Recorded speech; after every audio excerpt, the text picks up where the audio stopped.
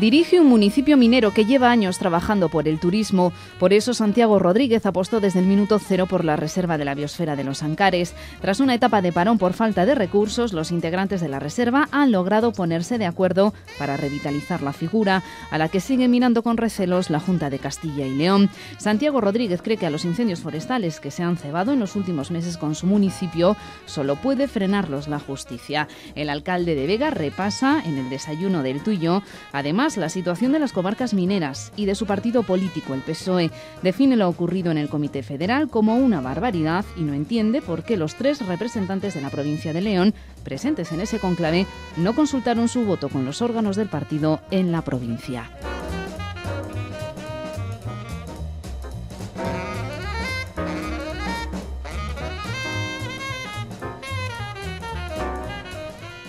Si la justicia hace un seguimiento adecuado, que yo creo que tiene medios y tecnológicamente es muy fácil en, la época en que vivimos, yo creo que es muy fácil conseguir que efectivamente alguien se ponga delante de la justicia y que sea condenado. Pero vamos, que sea condenado porque ha hecho, porque ha incendiado. Y yo creo que eso no lo podemos perder de ninguna manera. Tenemos que ser muy conscientes y sobre todo partiendo de la Junta de Castilla y León, que es en este momento la más reticente, éramos los ayuntamientos, ¿eh? porque para sacar el dinero de los ayuntamientos está la marinera. Pero bueno, la realidad es que en este momento ese, camino está andado, vamos a ver lo que pasa a continuación. Y yo estaría encantado que estuviera en Vega, ¿eh? te lo puedo garantizar y si tengo que apostar, yo apostaría por Vega. Soy el alcalde de Vega, lógicamente, entonces me gustaría que estuviera en aquella zona.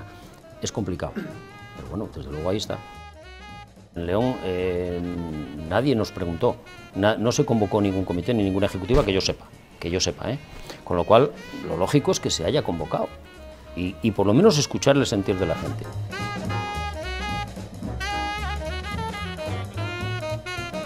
Que en Vega hubo tres incendios importantes, lo que es en el municipio, y varios conatos. Con lo cual seguimos con el mismo problema, eh, aunque no voy a hablar de la suerte, pero la realidad es que sí es verdad que ha sido menos incidencia que otros años. ¿no? Digamos que se ha desplazado a otros municipios que la realidad es que ha sido mucho más, eh, mucho más grave y desde luego unas consecuencias yo creo que para el medio ambiente terribles. ¿no? Yo estoy convencido de que las administraciones están haciendo una parte eh, importante. Vamos, el dispositivo de apaga incendios es, fuerte, hay que reconocerlo. Yo incidiría mucho más en, evitar el incendio en, el invierno.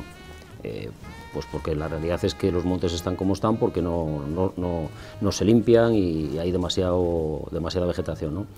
Pero también hay una cosa muy importante que es la, la propia justicia. ¿no? Es decir, si se monta un dispositivo adecuado para para seguir y vigilar la zona, yo creo que fácilmente se podría conseguir que, bueno, que, por lo menos algunos estuvieran delante de, la justicia. ¿no?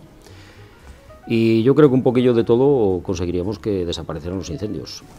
Si no desaparecieran, por lo menos se minorizaran muchísimo. Pero bueno, la justicia yo creo que podría hacer bastante más.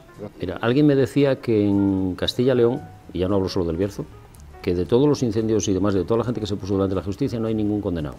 No sé si es verdad o mentira, ¿eh? es un dato que no lo tengo contrastado. Están todos declarados no culpables. Bien, o sea, no están condenados. ¿Qué pasa? Miras en otras, en otras autonomías y la realidad es que, mm, yo no voy a decir todos, pero algunos sí acaban condenados. Es decir, eh, ha habido un seguimiento y ha habido un, vamos, un culpable. Yo creo que si, como te digo, si la justicia hace un seguimiento adecuado, que yo creo que tiene medios y tecnológicamente es muy fácil en, la época en que vivimos, yo creo que es muy fácil conseguir que efectivamente alguien se ponga delante de la justicia y que sea condenado.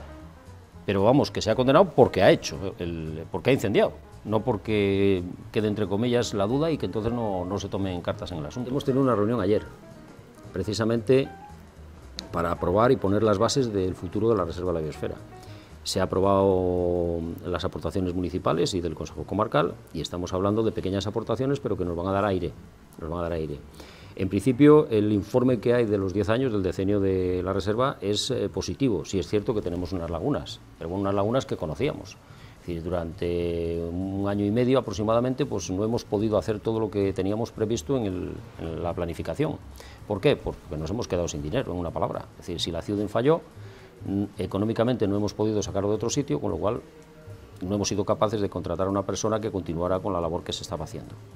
En este momento, en este momento sí somos capaces de. Primero hemos aprobado el presupuesto del 2016 con lo cual estamos hablando de que tenemos un presupuesto más o menos de 30.000 euros, teniendo en cuenta los 11.500 que eh, la Diputación ha puesto a disposición de cada una de las reservas de León, con lo cual es importante esta inyección.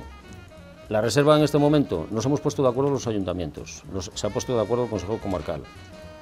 La Diputación ha sido sensible este año a poner unas cantidades para que las reservas empiecen a funcionar. Queda eh, la Junta de Castilla y León. La Junta de Castilla y León todavía no ha contestado y creo que tiene un concepto erróneo, a mi modo de ver, de lo que es la reserva en Castilla y León. Es decir, no podemos hacer una reserva única porque hay demasiadas eh, connotaciones y demasiado, cada una tiene sus particularidades. Con lo cual, si respetan eso, que yo creo que al final lo van a hacer porque entiendo que es, un, es un, eh, una imagen fuera de Castilla y León tremendamente potente, tremendamente potente porque además yo lo puedo ver ahora con la Reserva de los Ancares. Los años que ha funcionado, los años que hemos salido a foros internacionales y nacionales, que, que hemos representado a España en foros internacionales. ¿Qué pasa? Pues que aparece gente, aparece gente de fuera, aparece gente de Europa y de, algunos, de Estados Unidos queriendo ver qué es la reserva de la biosfera, qué es lo que hay aquí para que la UNESCO haya, nos haya considerado como algo, como algo bueno e importante. Y yo creo que eso no lo podemos perder de ninguna manera. Tenemos que ser muy conscientes y sobre todo partiendo de la Junta de Castilla y León, que es en este momento la más reticente, éramos los ayuntamientos, ¿eh? porque para sacar el dinero de los ayuntamientos está la marinera. Pero bueno, la realidad es que en este momento ese, ese camino está andado, vamos a ver lo que pasa. Yo creo que hay que hablar de connotaciones técnicas, ¿vale? Y para eh, una planta de esas características necesita eh, mucha agua, Vega la tiene, necesita mucho espacio, indiscutiblemente se busca, pero claro, yo reconozco que en el Bierzo hay otros sitios preparados con más facilidades, ¿vale? Y yo estaría encantado que estuviera en Vega, o que estuviera cerca, te digo, entre Vega, Favero, cualquier zona minera, porque la realidad es que lo importante es que se recuperen los pueblos, pero bienvenida sea cualquier zona del Bierzo. Y como dicen, si va a ser en la zona de Cubillos, hay que evacuar la energía también, hay que montar redes eléctricas de evacuación. O sea, es muy complicado, es muy complicado.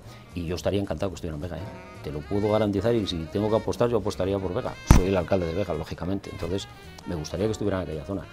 Es complicado, pero bueno, desde luego ahí está. No es la primera vez que surge ese tema, no es la primera vez que se piensa en aprovechar la biomasa para producir energía y la realidad es que lo que hay que tener muy claro es que en este momento es verdad que todos los montes tienen un potencial tremendo, pero tenemos que tener en cuenta que eso se recupera como se recupera. Y en el momento que tú haces una primera limpieza de, potente del tema, estamos hablando un par de años o tres años, con suficiente cantidad de, combustible, digamos, para ello. ¿Qué va a pasar a futuro? Pues yo creo que tendríamos que empezar a hablar de tipo de plantaciones o alguna cosa, o si no, no lo hay. Un plan de iniciación, bienvenido sea, tarde, muy tarde o tardísimo, como quieras llamarle, pero la realidad es que bienvenido sea para las zonas. Eh, las pequeñas ayudas que puedan tener, bienvenidas sean. Yo creo que se podía incidir en otro tipo de cosas y de hecho nosotros hemos pedido otro tipo de cosas. No vamos a una planta tan importante de, biomasa, estamos hablando de una pequeña planta de peles o de, este tipo de situaciones. Estamos hablando de aprovechar la ganadería de la zona, eh, pues con un matadero, una zona de despiece, en plan pequeño. Sustituir el tema del carbón es imposible. O sea, la industria, lo que generaba el carbón es algo que es insustituible en las zonas de, minería. Es insustituible. La situación es muy complicada. Eh, a mí personalmente me da una tristeza tremenda que un partido entre en una dinámica de estas características. Eh, lo que ha pasado a nivel federal, yo creo que es una barbaridad. Es decir, eso no puede pasar en un partido político. Yo creo que a alguien se le ha ido la olla, así de claro. O a alguien o a unos cuantos. Mm, yo creo que eh, no voy a poner un culpable solo, ¿vale? Yo creo que todo esto, como dice el otro, hay, culpables de todos los colores. Pero si la realidad es que si en un momento determinado tienes un secretario general nominado como, como, ha sido, es decir, por primarias, eh, con una serie de... Hay que respetar los tiempos, a mi modo de ver.